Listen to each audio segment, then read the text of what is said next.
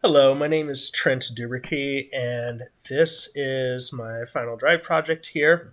Um, so I am working with the original mechanic that I had designed the elemental tiles, and then I am implementing Gerald Goodrich's um, mechanic of the wall blast, wall blast mechanic.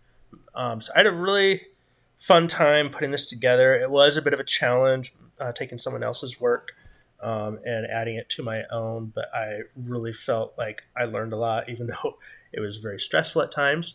Um, so anyway, so let me show you um, how um, everything works in my levels, and then I'll go ahead and break everything down for you. Um, so first off, we start off, we're just going to, this first level is just going to show off my elemental mechanics here. Um, so basically we have three different elements. We have our earth tile right here, we have our fire tile, and then we have the water here. So if we go into the earth tile, um, yeah, that's going to kill us. You know, it's poison, not good.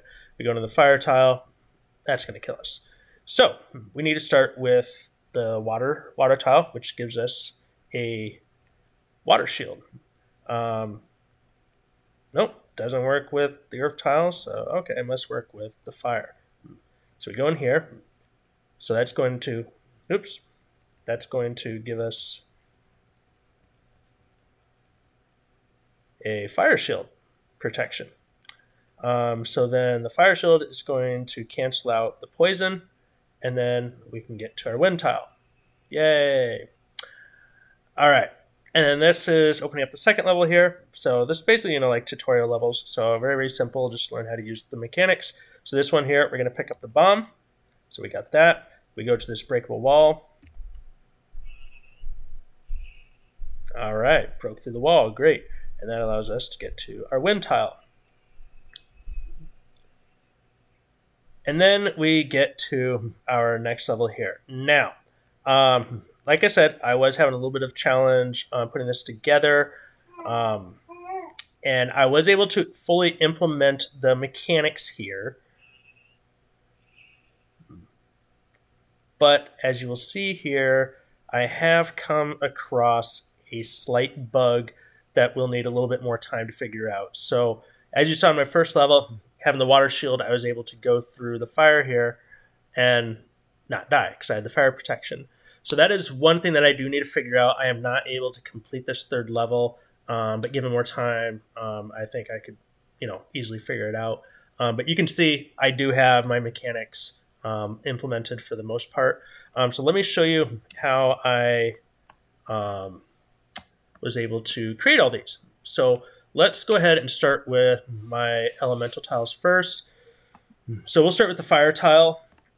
Um, with the fire tile, uh, basically, I went in here and I used a tile floor, made a child blueprint of the tile floor, and then I put in um, just a Niagara special effect here of the fire, and then what I did is I made sure that, um, let me go to the event graph.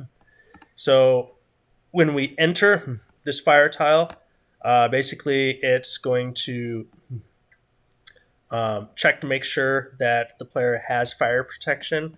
And if you look in here, when you enter the water tile, um, it's going to set fire protection to true.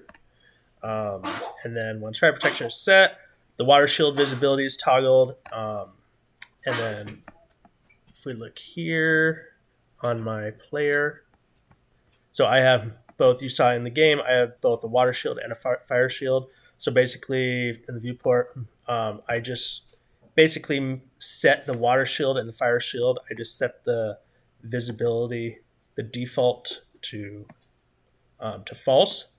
And then you can see in here, we are going to actually toggle the visibility. So it's going to make it true. And then that water shield is going to pop up. And so, oops, sorry. Um, so yeah, so then once uh, they check to make sure that the fire protection is set to true, then we're going to set it to earth protection because the fire is going to give us protection from the earth tile. Uh, if not, it's going to reset the level, kill the character.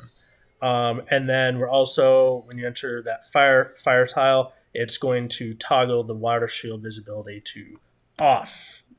Um, and then the fire shield visibility is going to be toggled on. And then that's where I add the 2D sound for a little uh, sound effect for the fire.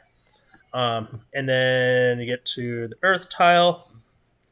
Yeah, I mean, these are real similar. So when they enter, basically, I'm just going to check to make sure that the um, player ha- is fire or is earth protected. Oh, and I forgot to show you. So I created the three variables in the tile fire is water, fire, and earth protected. Um, then basically, you know, if it's false, resets the level.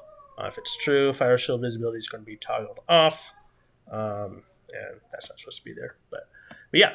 Um, so and then when it came to the um, the wall blast um, mechanic, the way that I did this is I made a wall blast ability as a child of the interactable box.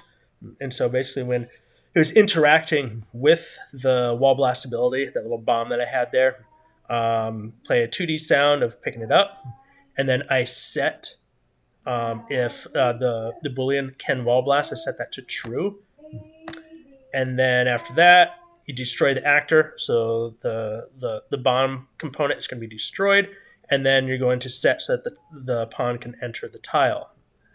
Um, and then here, um, when they interact, well, make sure to do this right.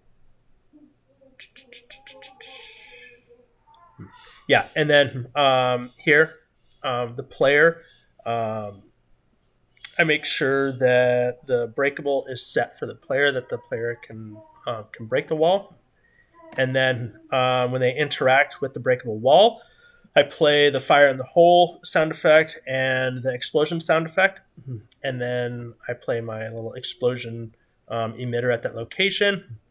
And then I set the visibility of the cube of that breakable, breakable wall. I destroy that. And then the component with the emitter is destroyed after two seconds. And then I set so that the pawn can enter the tile. I set that to true.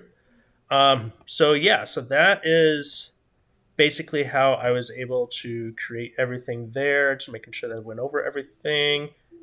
And oh yeah, um, this one totally forgot this. Uh, so when I use the wall blast action, um, I check to make sure that the can wall blast boolean is set to true. If it is true, then it checks to make sure that the neighboring tile is breakable.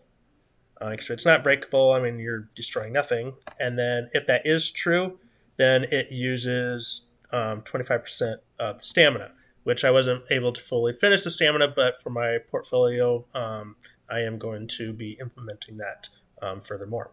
Anyway, so that is my uh, two mechanics that I implemented. Um, had a really fun time doing it and really enjoyed this class. I learned a lot. Thank you.